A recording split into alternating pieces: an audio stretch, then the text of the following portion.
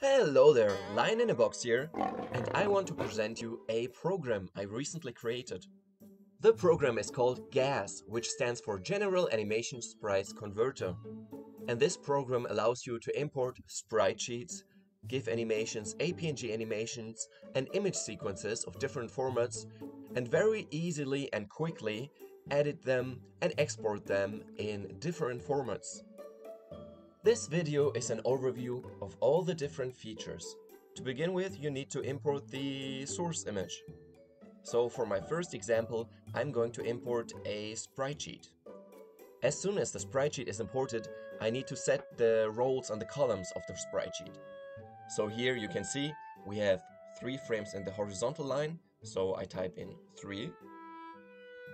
And then we have four frames in the vertical line, so I type in 4 and the separation lines of the individual frames are previewed directly. This way you know, you don't make any mistakes.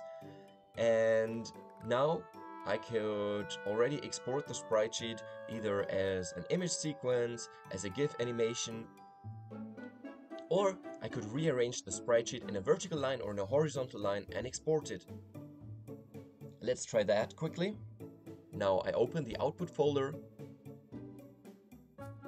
and you can see that all the sprites have been now arranged in a horizontal sprite sheet.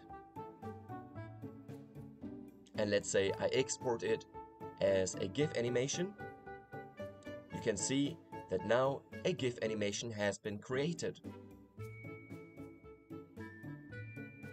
Now let's try out the image sequence export. Just for fun, let's choose a different format. And as soon as you export the image sequence, a folder is automatically created which includes all of the individual frames. If you want to export the images with your own custom names, you can do that by clicking the triple dots next to the export buttons. This will open a dialog which will allow you to type in your custom names. However, you can do even more with the sprite sheet. You can modify it, you can rearrange it, and do a few more customizations to it. And to do so, first we need to crop the sprite sheet. As soon as the sprite sheet is cropped, the animation appears of the individual frames. Now you have different options available. For example, you can scroll through the frames by either clicking on the buttons, typing a specific value, or by pressing the left and right key on the keyboard.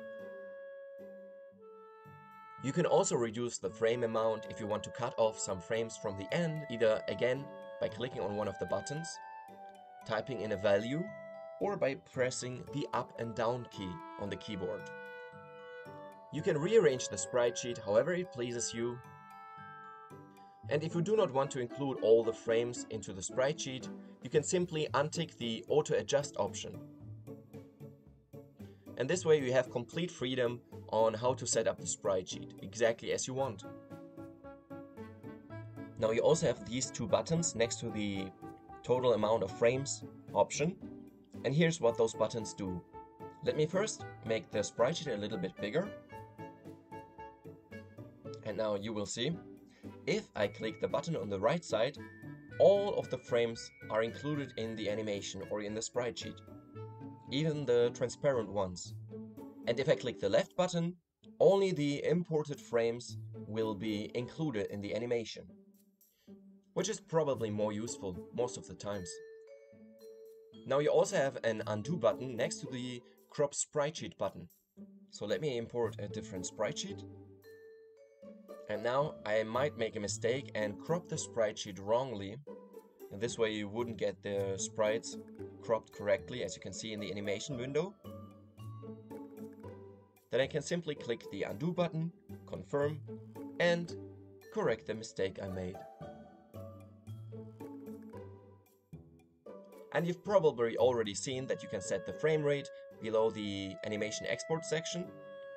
So if I want to animate the animation at 24 frames per second, I can simply select 24 in the list, or I can manually type in any random value I want. Now I've shown you the example with the sprite sheet, but obviously you can also import GIF animations, PNG animations, and also image sequences of different types of formats.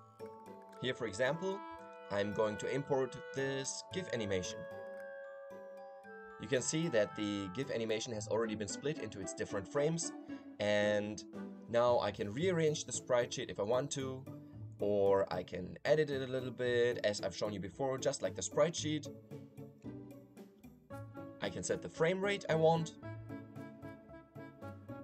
and I can export it in any format I want.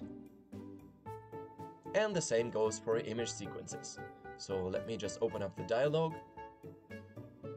And now I'm selecting all the images and importing them. And as you can see, again, the images have been automatically arranged into a sprite sheet. And I can modify and export them at will. You also have a theme button in the top right corner so you can switch either between dark mode or a light mode. And this is an overview of all the features.